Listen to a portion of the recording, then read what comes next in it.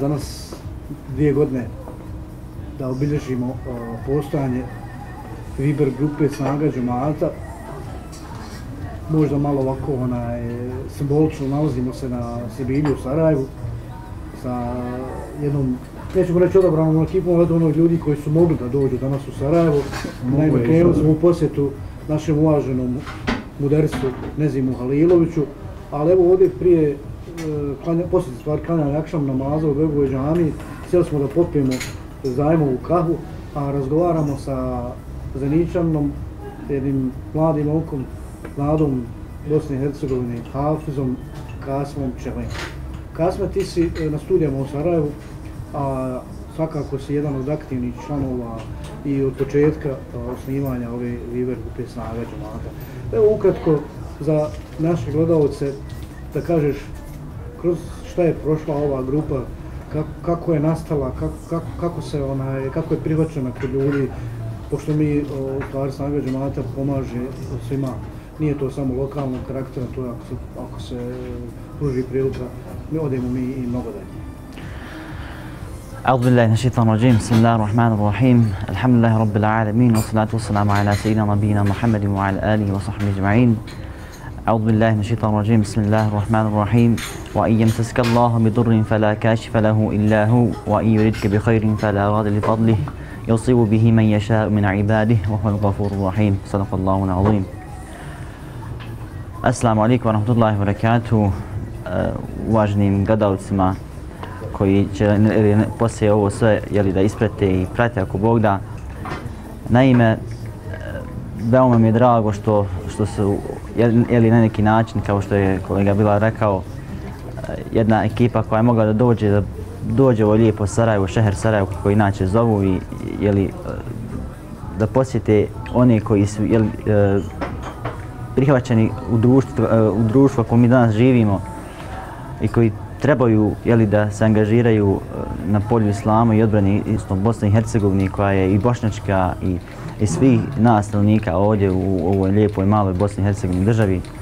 za koju se naši roditelji, mnogi naši šehidi borili i, i izborili za ovu državu kakva takva je ona danas. E, meni je, hvala Allah, velika čast, jeli što, što sam dio e, ovog kolektiva e, pa mogu reći jednog jako dobrog, fino kolektiva koji je evo za dvije godine uspio, pa možda što se i mnogi nisu, pa i mi sami nismo nadali da ćemo uspjeti oživjeti hama na neki način e, ono ljudsko, ono što je urađeno u ljudskoj prirodi, ljudskom domenu, da čini dobro, da druge upućuje na dobro, ma koliko drugi pokušavali na neki način svojim, e, na neki način negativnim naporima, e, uništiti, pa, uništiti tračak nade ovom ovdje narodu i, i ovoj lijepoj Bosni i Hercegovini i njegovom učenito djelovanju. E, naime, ja sam, e, kada sam završio medresu e, u Mostaru, jednog akšama slučajno navratio ili kod Hafsa, Safeta Huseinovića,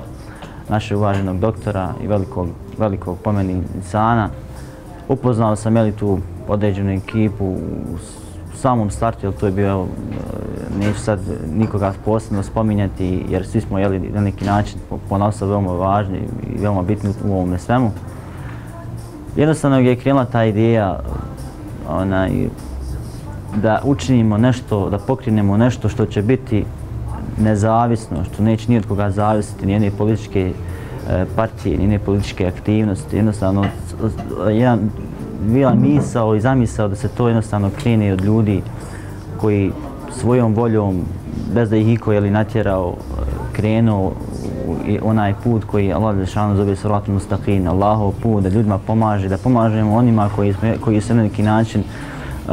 potrebi, koji na neki način trebaju našu podršku, uh, koji su na neki način možda izgubili svu nadu, mi smo na neki način Allahu voljom tu da im pomognemo to je tad krenulo i prvi nekim akcijama na, na neki način, neči železno polje gdje sam ja na neki način bio, bio aktivan par tih akcija i e, spomenuo sam na početku kuranski ajet koji govori zaista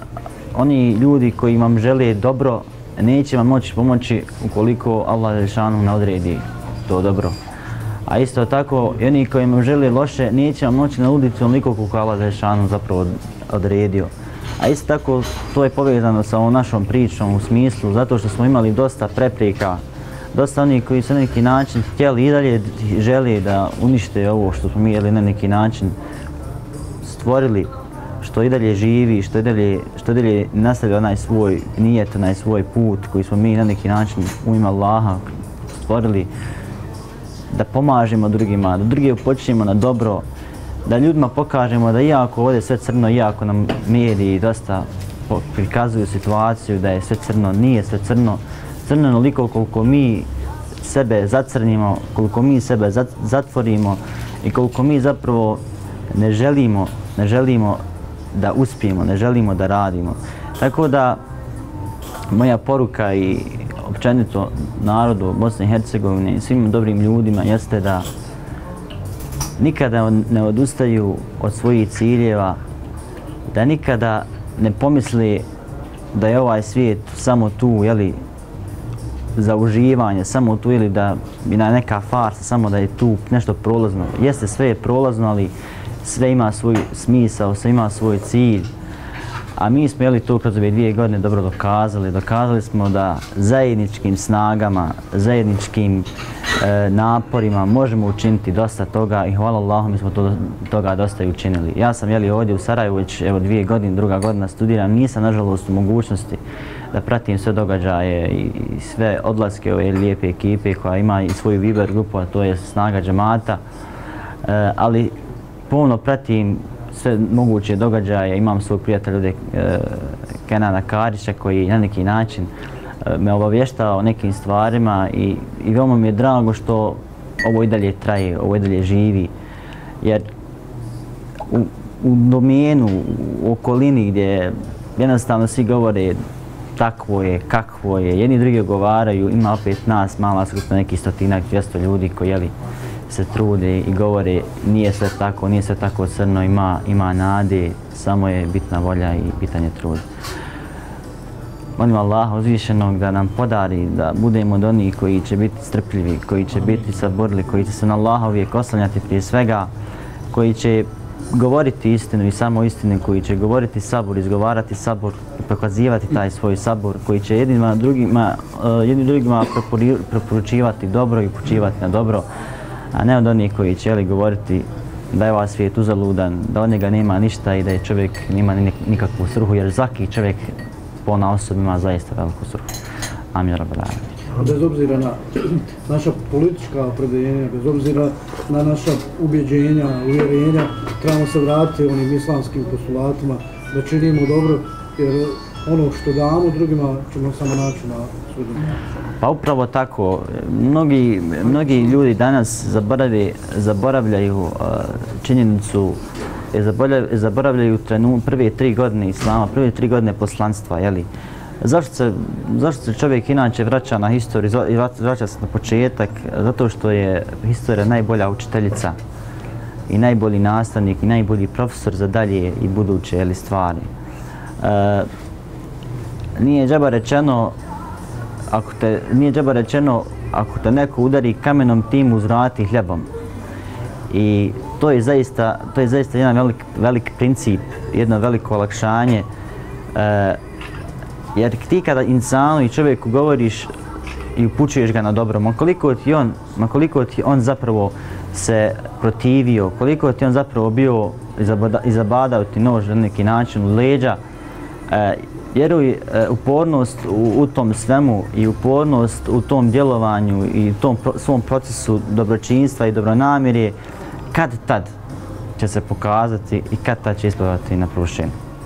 Na nama je da ne odustajemo i da se trudimo i koliko god možemo ima vlade šanu. Evo na kraju, sam naziv snaga džemata govori upravo šta leži u toj. Pa Allah Žešanuhu u Kur'anu kaže i sve se čvrsto Allaha užeta držite i nikako se ne razjedinujte. To je zapravo, ja mislim, i, i, je i glavni motiv ove grupe i ja se nadam da će taka, i taj i takav motiv ostati ko bude šala do kraja. Abdel, da Allah nagradi na odvojenom vremenu i molimo Allah Želešanu da ti podari snage u tom trudu, u učenju, u hivzu, u sticanju znanja, kako